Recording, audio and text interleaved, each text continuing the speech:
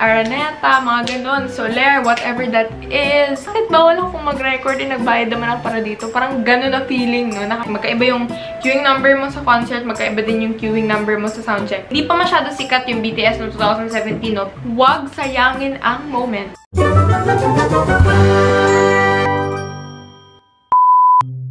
Hi guys! It's Victoria. Welcome back to another video and today we are going to be having another video. And as you can see, yung setup natin bago. Kasi yung setup natin na yun nga, yung background na yun, guys, hindi nyo alam gaano kahirap yung pag-angle ko. Unlike this setup na parang lalagay ko na yung camera dyan, tapos andito ako, okay na. So, ayan. We are going to be having the... Nakalagay na sa title eh.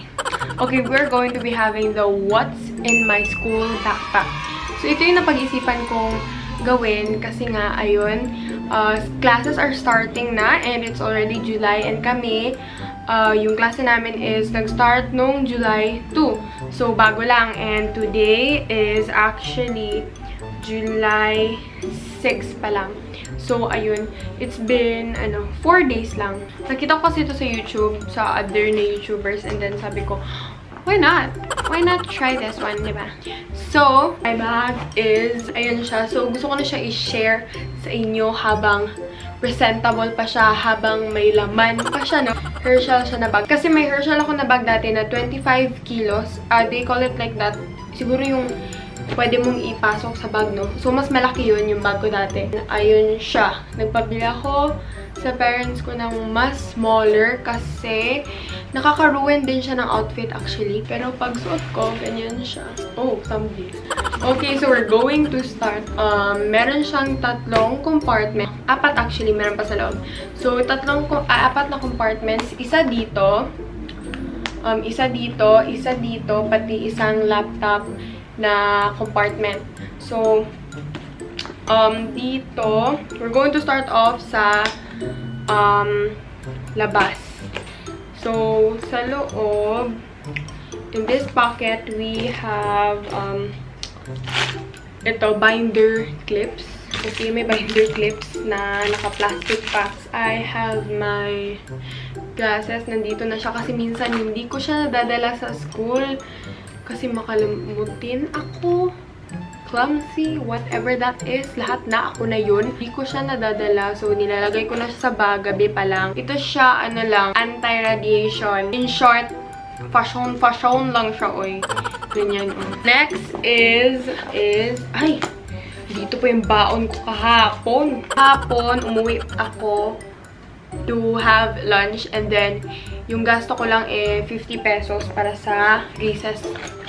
Next is, ayan, susi. Andito na sa bag ko parati yung susi ng kwarto ko kasi may space ko kasi sa kwarto talaga. So, nasa bag din kaagad para hindi magkawalaan and para makapasok ako sa kwarto ko pag uwi ko, no? Para hindi malakan, okay? Ito yung pinakamadaling video na na-film ko sa buhay ko. So, andito na pocket is Ayan. Andito na yung mga necessities, na, andito yung mga necessities ko, yung ginagamit ko for my face, for my teeth, for my, wala, pampaganda, for hygiene and all. So, andito is, um, first are lip piece. So, I have two lippies. Um, this is the Everbelena na lip tint. Alam natin lahat. And, pinapatungan ko siya ng Laneige na um, two-tone lip bar. Ito yung kay Lee Sung Kyung. Ayan. Uh, pinapatungan ko siya ng two-tone lip bar kasi moisturizer din siya. So, gamit ko talaga sila both. Pero pag sa classroom, ito lang. Alam nyo bakit? Baka may humiram. Okay. Next is, uh, what I wear sa school is only uh, sunscreen and lip tint. So, totoo yun. This is my, ano, sunscreen. It's the Theraderm BB White SPF 50 na uh, sunscreen. Next is ito, blotting paper. I have blotting paper and wipes. Ayan siya. So, hindi yan nawawala sa uh, bag ko kasi may supplies ako niyan. May supplies ako ng wipes and may supplies din ako ng ano, ng blotting paper. So, bumili na ako ng maraming ganito before nagkaroon ng klase. So, next up is the uh, laman ng bag ko. So, ayan. Pagbukas natin ng bag, ayan yung laman niya. So, first, uh, ayan, portfolio. So, guys, hindi to siya required sa school namin, pero nagdadala ako kasi, uh, ayun siya, naging comfortable kasi ako buong high school life ko, buong grade school life ko, may portfolio ako. Kaya, kahit senior high na ako ngayon, meron pa rin akong portfolio. Ayan. Envelope, hindi din siya kailangan, pero nung junior high pa ako, parada ako may envelope. Andito lahat ng mga quizzes ko, yung mga paper na dapat nakalagay dito kasi uh, nasanay ako dati na parang iniipit ko lang sa notebook so nagkakawalaan siya. Next is, ayan, notebook.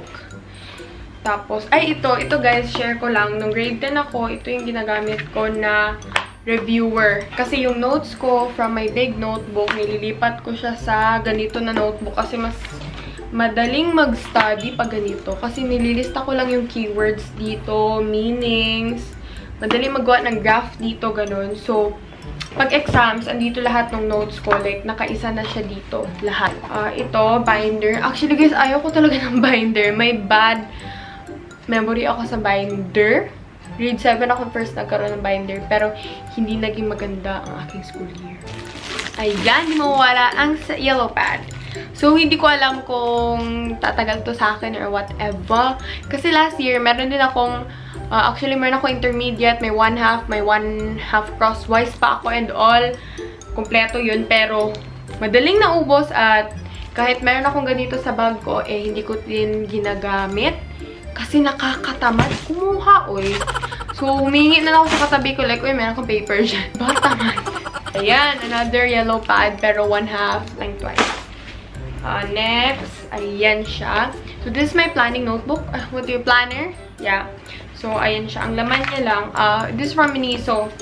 Ayan siya. Andito yung kung ano gagawin ko sa uh, Monday. Ayan, Monday, Tuesday, Wednesday. Ayan siya. So, puno siya kasi nung summer, nagamit ko na siya nung summer. Next is itong mini notebook. Andito yung mga assignments ko. Nung grade 10 pa actually, andito din. Ayan. Yan siya. Diyan may mga assignments ko dati. Next is, ayan, wallet. Ayan, may wallet, syempre. Pero yung wallet ko no, hindi pang estudyante, pang talagang Filipina ka na talaga, babae. Ito yung mga card. Ayan, andyan yung card. Tapos andito yung picture ng parents ko. Ba't natabunan yung mami ko? Andito yung picture ng parents ko. And andito yung mga card, like uh, super card, ng shakies, kasi mahilig kami sa pizza and minsan eh ako naman ang inuutusan magbili ng pizza. So, sa akin yung card ng super card. Ayan, Ace Rewards. May Ace. I mean, ah, kasi sinasamahan ko si daddy. Eh, hindi, sinamahan ko si daddy dati. Bumili ng something sa Ace. Tapos, ayun, inofferan siya ng Ace card. Pero, binigay ni daddy sa akin. Uh, next is, ayan, 7-Eleven na card. Okay, Starbucks card. Meron akong Starbucks card um, etude. Next is, ayan, uh, calculator ko. It's a Casio FX991ES Plus. Ayan siya. Tapos sabi nila, pag college mo daw kasi Casio is the best calculator you can have. Uh, next is, ayan, suklay. Andito, suklay ko. Detangling brush din siya. Meron akong malaking detangling brush, pero yun yung para sa kwarto ko. And maliit na detangling brush para sa school. Dito kasi sa bag ko, guys, merong um, pocket dyan for the laptop. Pero wala akong dinadala na laptop. Mahirap na. Perfume. Ayan siya. So, gusto ko yung perfume kasi pag uh, cologne, parati akong nagsispray, nagspray, nagspray kasi nawawala yung amoy niya. Pero sa perfume, matagal siya. Oh my gosh, konti na lang pala to. Ayan siya. Next is, ayan, yung mga pencil case ko. So, ito, ang explanation ko ba't ang daming coloring materials other than projects, ginagamit ko siya sa notes. So, ayun, hindi ako yung type ng person na may calligraphy, calligraphy kasi hindi ako marunong. Ayan siya. Nandito yung mga ballpens ko. So, ang ballpen na ginagamit ko, parati is ito, yung mga Faber-Castell na ganito. Ayan siya, mga Faber-Castell na ganito. Ginagamit ko talaga yan.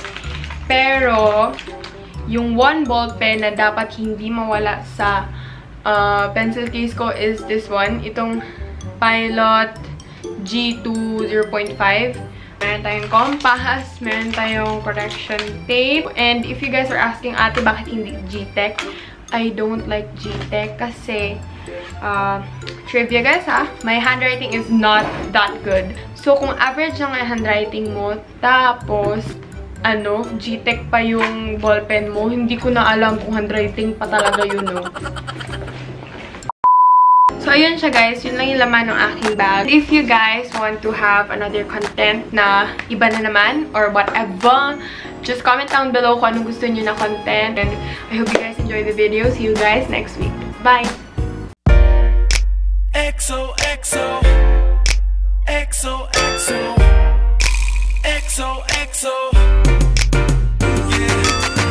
살며시 맞춘 X는 kiss 동그랗게 하는 오는 흙 혹시 벌써 알고 있을까?